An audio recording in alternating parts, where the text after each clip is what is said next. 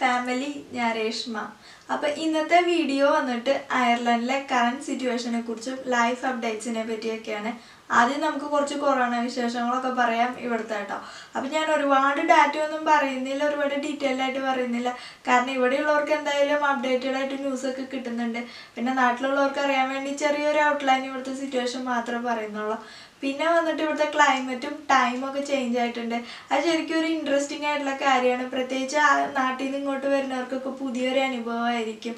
അപ്പോൾ അതിനെക്കുറിച്ചൊന്ന് കുറച്ച് പറയാം കേട്ടോ പിന്നെന്ന് വെച്ചാൽ ഇതൊരു പുതിയ അനുഭവം മാത്രമല്ല ചിലവർക്ക് ഈ ടൈം ചേഞ്ചും അല്ലെങ്കിൽ മെയിനായിട്ട് ക്ലൈമറ്റ് ചേഞ്ചും ഒക്കെ ഇത്തിരി ബുദ്ധിമുട്ട് ഉണ്ടാക്കാനുള്ള ചാൻസ് ഉണ്ട്. മെന്റലി നമ്മളെ എഫക്റ്റ് ചെയ്യാനുള്ള ചാൻസ് ഉണ്ട്. പ്രത്യേകിച്ച് ഡിപ്പെൻഡന്റ് വിസയിൽ വരുന്നവർക്കൊക്കെ.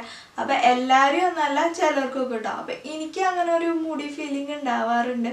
അതുകൊണ്ടാണ് ഞാൻ ഇന്നത്തെ വീഡിയോയിൽ അത് എടുത്തു പറയുന്നത് അപ്പോൾ ഇങ്ങോട്ട് വരുന്നതിന് മുമ്പ് ഇത് അറിഞ്ഞിരിക്കുന്നത് നല്ലതാണെന്ന് എനിക്ക് തോന്നി. ഞാൻ എന്തായാലും പറഞ്ഞ് പേടിപ്പിക്കുക എന്നല്ല വലിയ ഇഷ്യൂ ഉള്ള കാര്യം എന്നല്ല ചെറിയൊരു കാര്യം. അപ്പം ഞാനത് എന്തായാലും വീഡിയോയുടെ അവസാനം പറയാം കേട്ടോ അപ്പം നമുക്ക് ആദ്യം കൊറോണ വിശേഷങ്ങൾ വെച്ച് തുടങ്ങാം. നാട്ടിലെ പോലെ തന്നെ ഇവിടെയും മാർച്ച് മാസം തൊട്ടാണ് ലോക്ക്ഡൗണും റെസ്ട്രിക്ഷൻസ് ഒക്കെ സ്റ്റാർട്ട് ചെയ്തത് അപ്പോൾ ഇനീഷ്യലി കുറച്ച് കേസസ് ഒക്കെ ഉണ്ടായിരുന്നു പിന്നെ ലോക്ക്ഡൗണും റെസ്ട്രിക്ഷൻസ് ഒക്കെ വന്നിട്ട് കേസസ് ഒക്കെ അത്യാവശ്യം കുറഞ്ഞു. അപ്പോൾ എന്താ വെച്ചാൽ വിചാരിച്ചാൽ ഇവിടുത്തെ പബ്സും സ്കൂൾസും ഒക്കെ റീഓപ്പൺ ചെയ്തു. അപ്പോൾ വീണ്ടും കേസസിന്റെ എണ്ണം കൂടാണ് ഉണ്ടായത് അങ്ങനെ നവംബറൊക്കെ ആയപ്പോൾ വീണ്ടും ലോക്ക്ഡൗണും റെസ്ട്രിക്ഷൻസ് ഒക്കെ കൊണ്ടുവരേണ്ട ഒരു അവസ്ഥ വന്നിട്ടുണ്ടായിരുന്നു. അപ്പോൾ ശരിക്കും ഇവിടെ തൊട്ടടുത്തുള്ള ഒരു ഹോസ്പിറ്റലിലെ റെഫറൻസ് വെച്ച് പറയുകയാണെങ്കിൽ ആദ്യം അവിടെ ഒരു തേർട്ടി സംതിങ് ഒക്കെ പേഷ്യൻസ് ഉണ്ടായിരുന്നു. പിന്നെ ഒരു സീറോ വരെ അതായത് കംപ്ലീറ്റ് പേഷ്യൻസും റിക്വയർ ആയിട്ടുള്ള ഒരു സിറ്റുവേഷൻ ഉണ്ടായിരുന്നു. അത് എന്തായാലും ഹോപ്പ് തരുന്ന ഒരു സിറ്റുവേഷൻ ആയിരുന്നു. പക്ഷെ വീണ്ടും ഈ പേഷ്യൻസിന്റെ എണ്ണം കൂടി തുടങ്ങി അപ്പോൾ നവംബറൊക്കെ ആയ സമയത്ത് ഒക്ടോബർ ലാസ്റ്റ് ഒക്കെ ആയപ്പോഴേക്കും വീണ്ടും പേഷ്യൻസിന്റെ എണ്ണം കൂടാണ് ഉണ്ടായത് അങ്ങനെ ഒരു നവംബർ മാസത്തിൽ റെസ്ട്രിക്ഷൻസ് ഒക്കെ സ്റ്റാർട്ട് ചെയ്തപ്പോൾ ട്രീറ്റ്മെന്റ് ഒക്കെ കഴിഞ്ഞപ്പോൾ പിന്നെയും പേഷ്യൻസിന്റെ എണ്ണം ഡൗൺ ആയിട്ടുണ്ട്. അപ്പോൾ മുപ്പത് പേഷ്യൻസ് എന്നൊക്കെ പറയുമ്പോൾ നിങ്ങൾ വിചാരിക്കും ഇത്ര ചെറിയ നമ്പർ അല്ലേന്ന്. പക്ഷെ നാട്ടിലെ വെച്ച് നോക്കുമ്പോൾ ഇവിടുത്തെ പോപ്പുലേഷൻ വളരെ കുറവാണ് എന്നിട്ടാണ് കേട്ടോ നമ്പർ പിന്നെ ഞാൻ പറഞ്ഞത് ഇവിടെ നമ്മുടെ തൊട്ടടുത്തുള്ള ഹോസ്പിറ്റലിന്റെ കേസാണ് കേട്ടോ. പിന്നെ വന്നിട്ട് ഈ നവംബർ മാസത്തിൽ അത്യാവശ്യം റെസ്ട്രിക്ഷൻസ് ഒക്കെ വന്നതുകൊണ്ട് എന്തായാലും ഒരു ഗുണമായിട്ടുണ്ട്. ശരിക്കും പറഞ്ഞു കഴിഞ്ഞാൽ ഈ ഡിസംബർ മാസമില്ല? അപ്പോൾ ഡിസംബർ ക്രിസ്മസ് അപ്പോൾ ഇവിടുത്തെ ഭയങ്കര ആഘോഷമൊക്കെയാണ്. അപ്പോൾ എന്തായാലും ക്രിസ്മസ് ടൈമിലൊക്കെ എല്ലാവരും സെലിബ്രേഷൻ കൂടുതലായിരിക്കും അപ്പോൾ കൂടുതൽ കമ്മ്യൂണിറ്റി സ്പ്രെഡൊക്കെ ഉണ്ടാവാനുള്ള ചാൻസ് ഉണ്ട്. അതുകൊണ്ടാണ് ഗവൺമെന്റ് മുൻകൂട്ടി നവംബർ മാസത്തിൽ ഒരു ലോക്ക്ഡൗൺ ഒക്കെ വെച്ച്. ഏകദേശം ഒരു ആറ് ആഴ്ചത്തോളം ലോക്ക്ഡൗൺ ഉണ്ടായിരുന്നു കേട്ടോ ഫിഫ്ത്ത് ലെവൽ ലോക്ക്ഡൗൺ നമുക്ക് ട്രാവൽ ചെയ്യാൻ അധികം പറ്റുന്നില്ല. മിക്കവാറും ഷോപ്സ് ഒക്കെ ക്ലോസ്ഡ് ആയിരുന്നു. വളരെ കുറച്ച് സൂപ്പർ മാർക്കറ്റ്സ് ഒക്കെ ഓപ്പൺ ആയിട്ടുണ്ടായിരുന്നുള്ളൂ. ഫൈവ് കിലോമീറ്റേഴ്സ് ട്രാവൽ റെസ്ട്രിക്ഷൻസ് ഒക്കെ ഉണ്ടായിരുന്നത് എന്തായാലും അത് നല്ല എഫക്റ്റീവായിട്ട് വർക്കായിട്ടുണ്ടായിരുന്നു അതിന്റെ ഒരു ഗുണം കാണാനുണ്ട്. പേഷ്യൻസിന്റെയും കേസസിന്റെ എണ്ണമൊക്കെ അത്യാവശ്യം കുറഞ്ഞിട്ടുണ്ട്. പിന്നെ വന്നിട്ട് ഡിസംബർ ഫസ്റ്റ് തൊട്ടിട്ടാണ് ഈ റെസ്ട്രിക്ഷൻസ് ഒക്കെ ഘട്ടം ഘട്ടമായിട്ടാണ് ഗവൺമെന്റ് റിലീസ് ചെയ്യുന്നത് അപ്പോൾ ഡിസംബർ ഫസ്റ്റ് തൊട്ട് അത്യാവശ്യം ഷോപ്സൊക്കെ ഓപ്പൺ ചെയ്യും. പിന്നെ ഒരു ആഴ്ച കഴിയുമ്പോൾ പിന്നെ മറ്റ് പബ്സും സോഷ്യൽ ഗ്യാതറിങ്സും ഒക്കെ നമുക്ക് നടത്താം. ശരിക്കും പറഞ്ഞാൽ ക്രിസ്മസ് ഒക്കെ ആകുമ്പോൾ നമുക്ക് ഫാമിലി ഗെറ്റ് ടുഗദേഴ്സ് ഒക്കെ നടത്താം. വിത്തിൻ ദ കൺട്രി അല്ലെങ്കിൽ ഔട്ട്സൈഡ് ഓഫ് ദ കൺട്രി നമുക്ക് ട്രാവൽ ചെയ്യാം. ആ രീതിയിലുള്ള റെസ്ട്രിക്ഷൻസ് ആണ് റിലാക്സ് ചെയ്ത് വന്നിരിക്കുന്നത്. ഈ ഒരു സിറ്റുവേഷന് ആളുകൾ ഇവിടുത്തെ ആളുകളായാലെങ്കിലും നമ്മളെ പുറമെന്ന് വന്ന ആളുകളായാലും റിയാക്ട് ചെയ്യുന്നത് പല രീതിയിലാണ്. അപ്പോൾ ചിലരൊക്കെ നമ്മളെ പോലുള്ളവരൊക്കെ കംപ്ലീറ്റ് ആയിട്ട് stay home stay safe follow ചെയ്യുന്നവരുണ്ട്. ചിലരൊക്കെ മാസ്കും സാനിറ്റൈസറും ഒക്കെ യൂസ് ചെയ്ത് പ്രൊട്ടക്ഷനൊക്കെ വെച്ച് ഔട്ട്സൈഡ് പോകുന്നവരുണ്ട്. വേറൊരു ഗ്രൂപ്പ് ഓഫ് ആളുകൾ ഇതിനെതിരായിട്ട് കംപ്ലീറ്റ് ഓപ്പോസിറ്റ് ആയിട്ട് ചിന്തിക്കുന്നവരുണ്ട്. ആന്റി മാസ്ക് പ്രൊട്ടസ്റ്റ് അതായത് മാസ്ക് വെക്കാതെ പ്രൊട്ടസ്റ്റ് ചെയ്യുന്ന ആൾക്കാരുണ്ട്. ശരിക്കും ഡബ്ലിനിലും സിറ്റിയിലും പിന്നെ ഒരു ഒരുവിധപ്പെട്ട സിറ്റീസിലൊക്കെ അങ്ങനത്തെ പ്രൊട്ടസ്റ്റ് ഒക്കെ ഉണ്ടായിരുന്നു. ഇവിടുത്തെ ടൗണിലും പ്രൊട്ടസ്റ്റ് ഒക്കെ ഉണ്ടായിരുന്നു കേട്ടോ പീപ്പിൾ ഡിഫറെന്റ് ആയിട്ടുള്ള രീതിയിലാണ് റിയാക്ട് ചെയ്യുന്നത് പക്ഷേ ഇവിടുത്തെ ഗവൺമെന്റ് നമ്മുടെ നാട്ടിലെ പോലെ ഒരുപാട് സ്ട്രിക്റ്റ് റൂൾസ് കൊണ്ടുവന്നിട്ട് ആളുകളെ കൂടുതൽ ഫോഴ്സ് ചെയ്തിട്ട് സ്റ്റേ ഹോം ചെയ്യിപ്പിക്കുക അല്ലെങ്കിൽ മാസ്ക് ഇടിപ്പിക്കുക. ആ ഒരു രീതി എന്തായാലും ഇവിടെ കുറവാണ്. അതിന്റെ ഒരു പ്രോബ്ലം ഉണ്ട്. കാരണം ഒരുപാട് സ്ട്രോങ് സ്ട്രോങ് ആയിട്ട് ഒരുപാട് ഫോഴ്സ് ചെയ്തിട്ടും ആരെയും റൂൾസ് ഇതാക്കുന്നില്ലല്ലോ. പിന്നെ വന്നിട്ടുള്ള കാര്യം എന്ന് വെച്ചാൽ ഇപ്പം ആളുകൾ കൊറോണയുടെ ഒരു ഭീതി ഇതൊക്കെ അത്യാവശ്യം വിട്ടുപോയിട്ടുള്ള ഒരു സിറ്റുവേഷൻ ആണ്. എല്ലാവരും ക്രിസ്മസിന് വെയിറ്റിങ്ങും ക്രിസ്മസ് സെലിബ്രേഷന് വേണ്ടിയുള്ള തയ്യാറെടുപ്പിലാണ്. ശരിക്കും പറഞ്ഞു കഴിഞ്ഞാൽ ഡിസംബർ ഫസ്റ്റിലാണല്ലോ റെസ്ട്രിക്ഷൻസ് ഒക്കെ മാറ്റിയത് അപ്പോൾ ഇവിടുത്തെ ഒരു വൺ ഓഫ് ദ ഒരു ഫേമസ് ഷോപ്പ് ഉണ്ട് പ്രൈമാക്ക് ആൻഡ് പെനീസ് എന്ന് പറഞ്ഞിട്ടുള്ളത്. അപ്പോൾ അവിടെയാണ് കൂടുതൽ അഫോർഡബിൾ ആയിട്ടുള്ള ഫാഷൻ സ്റ്റോർ എല്ലാവരും ഷോപ്പ് ചെയ്യുന്നത് കേട്ടോ. അപ്പോൾ ആ സ്റ്റോർ ഇത്രയും നാൾ ലോക്ക്ഡൗൺ ആയ കാരണം നവംബറിലൊക്കെ അടച്ചിട്ടേക്കല്ലായിരുന്നു. അപ്പോൾ ഡിസംബർ ഫസ്റ്റിനകത്ത് തുറക്കണതിന്റെ അന്ന് കാലത്ത് ആറ് മണിക്കായിരുന്നു കേട്ടോ ഷോപ്പ് ഓപ്പൺ ചെയ്യുന്നത്. അപ്പോൾ ഈ ആറ് തന്നെ ആളുകൾ നീണ്ട ക്യൂ ആയിരുന്നു ഫെസ്റ്റിവൽ ക്ലോത്ത് ഷോപ്പ് ചെയ്യാനൊക്കെ വേണ്ടിയിട്ട്. അപ്പോൾ എല്ലാവരും ആ ഒരു രീതിയൊക്കെ വിട്ട് തുടങ്ങിയിട്ടുണ്ടെന്ന് തന്നെ പറയേണ്ടി വരും. പിന്നെ ഒരു ഹോപ്പ് തരുന്ന ഒരു വാർത്ത എന്ന് വിചാരിച്ചാൽ നമ്മളൊക്കെ അറിഞ്ഞിട്ടുണ്ടാവും യു കെയിൽ ഫേസ് വാക്സിൻ സ്റ്റാർട്ട് ചെയ്തിട്ടുണ്ടെന്ന്. അപ്പോൾ ആ നോർത്തേൺ അയർലൻഡ് ഇപ്പോഴും യു കെ ഗവൺമെന്റിന്റെ അണ്ടറിലായതുകൊണ്ട് അവിടെ ഒരു നയന്റി ഇയർ ഓൾഡുള്ള ഒരു ലേഡി ഒരു ഗ്രാൻഡ് എന്ന് പറയേണ്ട ഒരു പുള്ളിക്കാരി വാക്സിൻ എടുത്തിട്ടുണ്ട്. അവിടെയും സ്റ്റാർട്ട് ചെയ്തിട്ടുണ്ടെന്ന് വിചാ കേൾക്കുന്നത് അപ്പോൾ എന്തായാലും അയർലൻഡിലും ആ ഒരു വാക്സിൻ വരാനുള്ള ചാൻസ് ഉണ്ടെന്നാണ് കേട്ടിട്ടുള്ളത്. അപ്പോൾ ഗവൺമെന്റ് പറയുന്ന ഒരു ജനുവരി ഒക്കെ ആവുമ്പോൾ വാക്സിൻ സ്റ്റാർട്ട് ചെയ്യുന്ന പറയുന്നത് ലേറ്റസ്റ്റ് ആയിട്ട് ഈ വീഡിയോ എടുക്കുന്ന ലേറ്റസ്റ്റ് ആയിട്ടുള്ള അപ്ഡേറ്റ് എനിക്ക് കിട്ടിയിട്ടുള്ളത് എന്താണെന്ന് വിചാരിച്ചാൽ ഗവൺമെന്റ് സൈഡിൽ നിന്ന് നമ്മൾ ന്യൂസ് കിട്ടിയിട്ടുള്ളത് എന്താണെന്ന് വിചാരിച്ചാൽ ആർക്കൊക്കെ വാക്സിൻ ഇനീഷ്യലി സ്റ്റാർട്ട് ചെയ്യണം ഏതൊക്കെ ഘട്ടമായിട്ട് കൊടുക്കുന്നുള്ള ഒരു ചാർട്ട് ഇട്ടിട്ടുണ്ട്. അതായത് ഒരുപാട് പ്രായമുള്ളവർക്കും സിക്സ്റ്റി ഫൈവ് ഏജിന് മേലെയുള്ളവർക്കും റിസ്ക് ഉള്ളവർക്കും പിന്നെ മെഡിക്കൽ പ്രൊഫഷൻസിലൊക്കെയാണ് ആദ്യം വാക്സിൻ കൊടുക്കാന്നുള്ള അങ്ങനത്തെ ഒരു ചാർട്ട് വരെ അത്രയും ഫോളോ അപ്പ് ആയിട്ടുണ്ട്. ഇനി നമ്മളെങ്ങാനും വാക്സിൻ എടുക്കുക. അതിനെക്കുറിച്ച് കൂടുതൽ ഡീറ്റെയിൽ അപ്ഡേഷൻ ഉണ്ടെങ്കിൽ ഞാൻ എന്തായാലും വന്ന് പറയാം കേട്ടോ അപ്പോൾ നമ്മൾ കൊറോണ വിശേഷം തൽക്കാലം നിർത്തിയിട്ട് നമുക്ക് ക്ലൈമറ്റ് ചേഞ്ചും ടൈം ചേഞ്ചിലോട്ടും കിടക്കാം. ക്ലൈമറ്റ് ചേഞ്ച് എന്ന് പറയുമ്പോൾ ഡിസംബർ സ്റ്റാർട്ട് ചെയ്തു. ഇവിടെ വിന്ററും സ്റ്റാർട്ട് ചെയ്തു കേട്ടോ അപ്പോൾ ചെറുതായിട്ട് മഞ്ഞൊക്കെ വീണ് തുടങ്ങിയിട്ടുണ്ട്. അപ്പോൾ ഇന്നലെ രാത്രിയൊക്കെ ചെറുതായിട്ട് സ്നോ ഒക്കെ വന്നിട്ടുണ്ട് കേട്ടോ അപ്പോൾ സ്നോഫാൾ എന്ന് പറയുമ്പോൾ അയർലൻഡിൽ ഒരുപാട് മഞ്ഞ് വീഴുന്ന സ്ഥലമല്ല കേട്ടോ. അപ്പോൾ നമ്മൾ കാനഡയിലും പിന്നെ കാശ്മീരിലൊക്കെ കാണുന്ന പോലെ ഭയങ്കര കട്ടിയിൽ മഞ്ഞ് വീഴുക. അതിവിടെ വളരെ കുറവാണ്. കഴിഞ്ഞ ഒരു വർഷം ജനുവരി സമയത്താണ് ചെറിയൊരു ലെയർ കുറച്ച് മഞ്ഞ് രണ്ട് തവണയായിട്ട് വീണുണ്ടായിരുന്നു. പിന്നെ ഫെബ്രുവരിയിൽ ഒരു തവണ അത്യാവശ്യം നല്ല സ്നോ വീണിട്ടുണ്ടായിരുന്നു കേട്ടോ. അപ്പോൾ ഇവിടെ അധികം മഞ്ഞ് വീഴല്ല. പക്ഷേ ഇത്തവണ ഡിസംബർ ഫസ്റ്റ് വീക്കാണ് ചെറുതായിട്ട് സ്നോ വീണ് തുടങ്ങിയിട്ടുണ്ട്. കഴിഞ്ഞ കൊല്ലം ഇങ്ങനെ ഉണ്ടായിരുന്നില്ല. ഇന്നലെ രാത്രിയൊക്കെ ഇപ്പോൾ കാറിന്റെ മുകളിലും പുല്ലിലൊക്കെ ചെറുതായിട്ട് ലെയർ ഓഫ് മഞ്ഞ് വീണിട്ടുണ്ടായിരുന്നു. അപ്പോൾ രാത്രി ആയതുകൊണ്ട് വീഡിയോ എടുത്താലൊന്നും കാണുന്നില്ല കേട്ടോ അപ്പം ഞാൻ കാലത്തെങ്ങാനും മഞ്ഞ് ഉണ്ടെങ്കിൽ വീഡിയോ എടുത്തിട്ട് ഞാൻ എന്തായാലും അപ്ഡേറ്റ് ചെയ്യാവുന്നതാണ് കേട്ടോ അപ്പം അത്യാവശ്യം തണുപ്പൊക്കെ വന്ന് തുടങ്ങിയിട്ടുണ്ട്. അപ്പം നാട്ടിലെ വെച്ച് നോക്കുമ്പോൾ ഇവിടെ വിന്റർ കുറച്ചും കൂടി എവിഡന്റ് ആണ്. പക്ഷേ മറ്റ് ചില യൂറോപ്യൻ കൺട്രീസിലൊക്കെ വിന്റർ ഭയങ്കര കൂടുതലാണ്. നല്ലോണം മഞ്ഞൊക്കെ വീഴും. പക്ഷെ അവിടെ കമ്പയർ ചെയ്ത് നോക്കുമ്പോൾ ഇവിടെ എന്തായാലും വിന്ററിന്റെ തണുപ്പ് ഇതൊക്കെ ഇത്തിരി കുറവാണ്. പിന്നെ വന്നിട്ടുള്ള ഒരു കാര്യം എന്ന് വിചാരിച്ചാൽ ഇവിടുത്തെ ടൈം ചേഞ്ച് ആയിട്ടുണ്ട് കേട്ടോ അപ്പോൾ ടൈം ചേഞ്ച് എന്ന് പറയുന്നത് കുറച്ച് നാൾ മുമ്പേ ആയിട്ടുണ്ട്. പക്ഷെ ഞാൻ വീഡിയോയിലൊന്നും പറഞ്ഞിട്ടുണ്ടായിരുന്നില്ല. അപ്പോൾ ഈ ഒരു ഇൻട്രസ്റ്റിംഗ് ആയിട്ടുള്ള ഒരു ഫാക്ടർ ആയതുകൊണ്ട് പിന്നെ നാട്ടിൽ അധികം ആർക്കും അറിയില്ല ഇങ്ങനെ ടൈം വേരിയേഷന്റെ കാര്യം. അതുകൊണ്ടാണ് ഞാൻ ഈ വീഡിയോയിൽ എടുത്ത് പറയുന്നത് കേട്ടോ അപ്പോൾ ഇവിടുത്തെ ക്ലൈമറ്റ് ശരിക്കും നാലായിട്ട് ഡിവൈഡ് ചെയ്യാം കേട്ടോ ഒന്ന് സ്പ്രിങ്ങും പിന്നെ സമ്മറും പിന്നെ ഓട്ടവും വിന്ററും അപ്പോൾ സാധാരണ ഈ സ്പ്രിംഗ് ടൈമിലും സമ്മർ ടൈമിലും നമ്മുടെ നാട്ടിലത്തെ സമയത്തിനനുസരിച്ച് ഇവിടുത്തെ സമയം ഒരു നാലര മണിക്കൂർ ബാക്കിലാണ് പക്ഷെ വിന്ററിലും ഓട്ടത്തിലും നമ്മുടെ നാട്ടിലെ ടൈമിനേക്കാളും ഒരു അഞ്ചര മണിക്കൂർ ബാക്ക്വേർഡാണ് അത്രയും ഡിഫറൻസ് ഉണ്ട്. അപ്പോൾ ഒരു ആറു മാസത്തോളം കാലം നാലര മണിക്കൂർ ഡിഫറൻസും പിന്നെ ഒരു ആറു മാസം അഞ്ചര മണിക്കൂർ ഡിഫറൻസും ആണ്. അപ്പോൾ നമുക്ക് തന്നെ തോന്നുന്നത് എങ്ങനെയാണ്? നാലര മണിക്കൂർ പിന്നെ അഞ്ചര മണിക്കൂർ ഡിഫറൻസ് എന്ന്. അപ്പൊ ഞാൻ നാട്ടിലായിരിക്കുന്ന സമയത്ത് എനിക്ക് ഇങ്ങനെ അറിയണ്ടായിരുന്നില്ലടാ. അപ്പൊ നമ്മൾ ഇന്റർവ്യൂ ഒക്കെ കൊടുക്കുന്നത് ഒക്കെ ഡിസംബർ മാസത്തിലായിരുന്നു. അപ്പൊ നമ്മൾ വിചാരിച്ചത് ഒരു അഞ്ചര മണിക്കൂർ കാൽക്കുലേഷനിലാണ് ഇങ്ങോട്ട് വന്നത്. അപ്പൊ നമ്മളിവിടെ വന്നത് ഒരു ജൂൺ മാസമൊക്കെയാണ്. അപ്പോൾ ആ സമയത്ത് നാലര മണിക്കൂറിന്റെ ഡിഫറൻസ് ഉള്ളു. അപ്പൊ നമ്മൾ ആദ്യം വിചാരിച്ചത് എന്തെങ്കിലും സയന്റിഫിക് ആയിട്ടുള്ള എന്തെങ്കിലും റീസൺ ഉണ്ടായിരിക്കും. അതായത് എർത്തിന്റെ മൂവ്മെന്റോ അല്ലെങ്കിൽ സണ്ണിന്റെ എന്തെങ്കിലും കാരണം കൊണ്ടായിരിക്കാം ഇങ്ങനെ ടൈം ചേഞ്ച് ആവുന്നതെന്ന് വിചാരിച്ചു. പിന്നെ അന്വേഷിച്ചപ്പോഴാണ് അറിഞ്ഞത് ഇവിടുത്തെ ഗവൺമെന്റ് പണ്ട് ഇൻട്രൊഡ്യൂസ് ചെയ്ത ഒരു റൂളാണ് റൂളല്ല ഒരു മെത്തേഡാണ് മിക്ക യൂറോപ്യൻ കൺട്രീസിലും ഫോളോ ചെയ്യുന്ന ഒരു മെത്തേഡാണ് കേട്ടോ. ഡേ ലൈറ്റ് സേവിങ് ടൈം അതായത് നമ്മൾ ആക്ച്വലി ക്ലോക്ക് പിന്നിലോട്ട് തിരിച്ചിട്ടാണ് ഈ ഒരു വേരിയേഷൻ വരുത്തുന്നത്.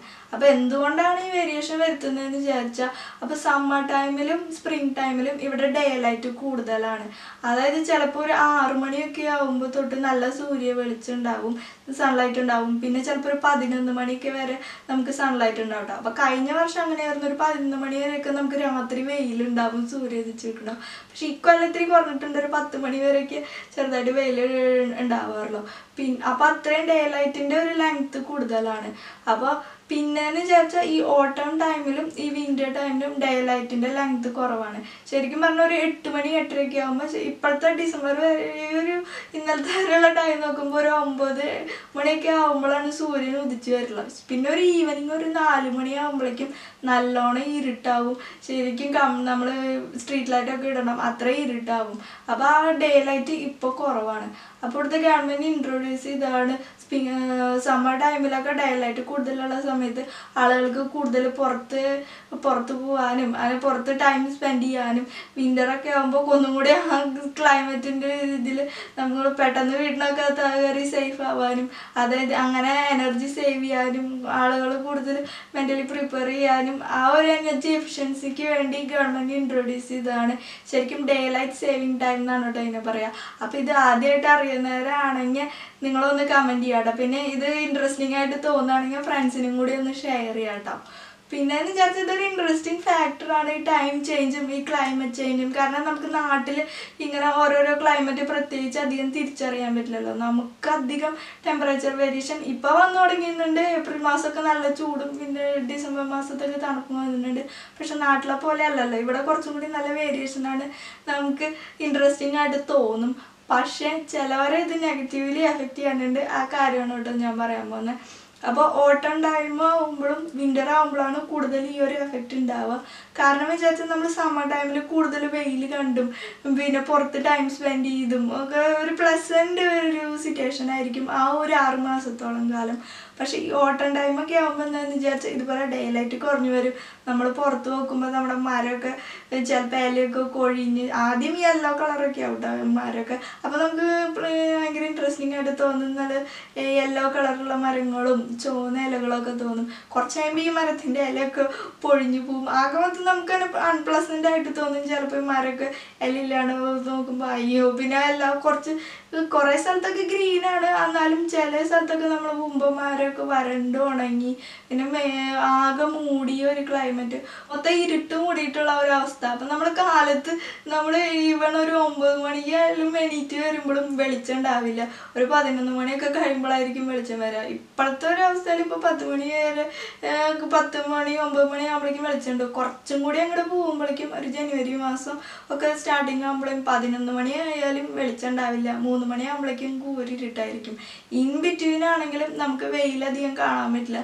നമ്മൾ വിൻഡോ ഒക്കെ തുറന്ന് നോക്കുമ്പോൾ എപ്പോഴും കാർമേഘം വന്നിട്ടും ഇരുട്ട് മൂടിയിട്ടുള്ള ഒരു അവസ്ഥയായിരിക്കും പിന്നെ അയർലൻഡ് എന്ന് പറയുമ്പോൾ മുന്നൂറ്റി അറുപത്തഞ്ച് ദിവസം നമുക്ക് മഴ എക്സ്പെക്ട് ചെയ്യാൻ ചാൻസ് ഉള്ള ഒരു കൺട്രിയാണ് പിന്നെ എന്ന് വിചാരിച്ചാൽ ഇവിടെ വിന്റർ സമയത്ത് മഞ്ഞെല്ലാം കൂടുതലായിട്ട് വീഴുക ചിലപ്പോൾ മഴയൊക്കെ ആയിരിക്കും.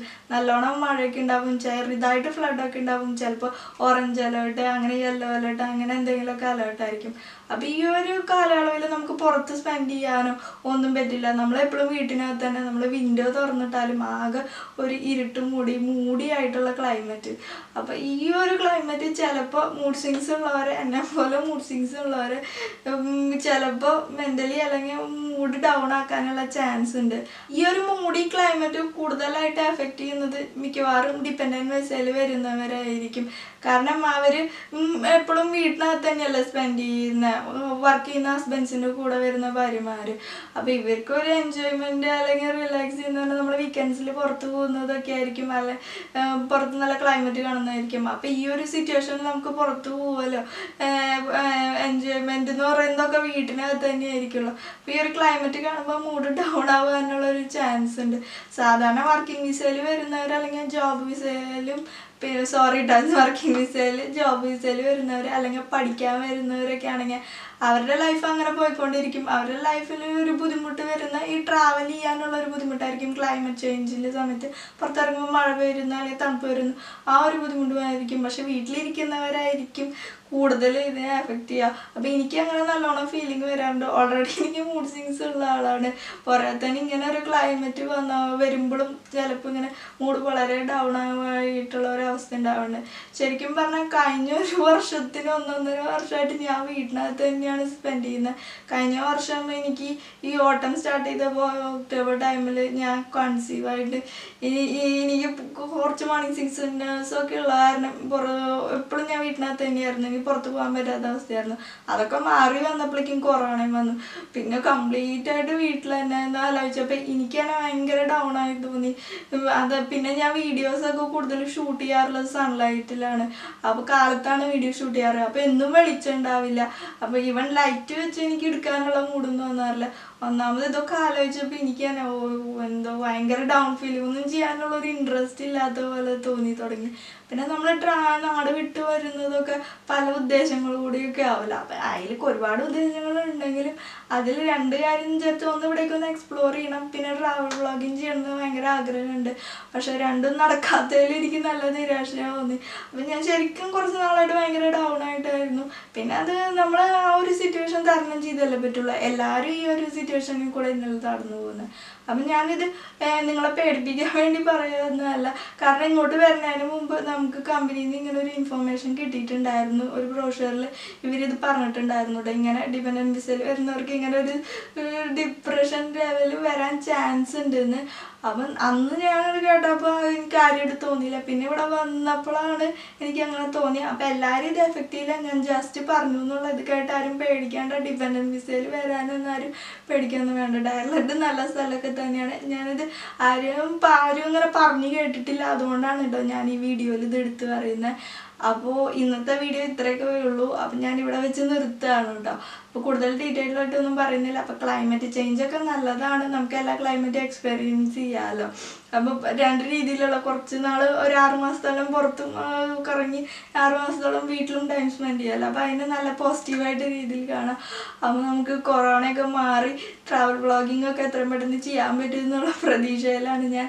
അപ്പോൾ നമുക്ക് ഈ വീഡിയോ ഇവിടെ വെച്ച് നിർത്താണ് കേട്ടോ. അപ്പോൾ ഈ വീഡിയോ ഇഷ്ടപ്പെടുകയാണെങ്കിൽ ലൈക്ക് ചെയ്യുക എന്തെങ്കിലും സജഷൻസ് ഒക്കെ ഉണ്ടെങ്കിൽ കമന്റ് ചെയ്യുക. പിന്നെ ഒരു കാര്യം എന്ന് വിചാരിച്ചാൽ കമന്റ് ചെയ്യാൻ പറയുമ്പോൾ ഒരു ഔട്ട് അൺവാണ്ടഡ് ആയിട്ടുള്ള ആരെങ്കിലും സില്ലി ഡൗട്ട് ചോദിച്ച കമൻസ് ഉണ്ട്. അത് ഞങ്ങൾ ഞങ്ങൾ തള്ളിക്കളയുന്നുള്ളൂ. ചിലർ കാര്യമായിട്ടുള്ള കമൻസ് ചോദിക്കാറുണ്ട്. അപ്പം നമ്മളെ കൊണ്ട് അറിയാവുന്ന രീതിയിൽ നമുക്ക് ഉത്തരം പറയാൻ പറ്റുള്ളൂ. കാരണം നമ്മൾ അറിയാത്ത കാര്യങ്ങൾ ഫേക്ക് ആയിട്ടുള്ള ഇൻഫർമേഷൻ തരേണ്ട ആവശ്യമില്ലല്ലോ എന്ന് വിചാരിച്ചിട്ടാണ്. അറിയാത്ത കാര്യങ്ങൾ അറിയില്ല എന്ന് പറയുന്നതിൽ ആരും ഇതൊന്നും വിചാരിക്കാതിരിക്കും കേട്ടോ. പിന്നെ നമ്മുടെ ചാനൽ സബ്സ്ക്രൈബ് ചെയ്യാൻ മറക്കായിരിക്കും കേട്ടോ. ഇതുവരെ സബ്സ്ക്രൈബ് ചെയ്യാത്തവരെ ഉണ്ടെങ്കിൽ അപ്ഡേറ്റഡ് ആയിട്ടിരിക്കാൻ ബെല്ലൈക്കണൊക്കെ അമർത്താം. അപ്പോൾ അടുത്തൊരു വീഡിയോയിൽ കാണുന്നവരെ ബൈ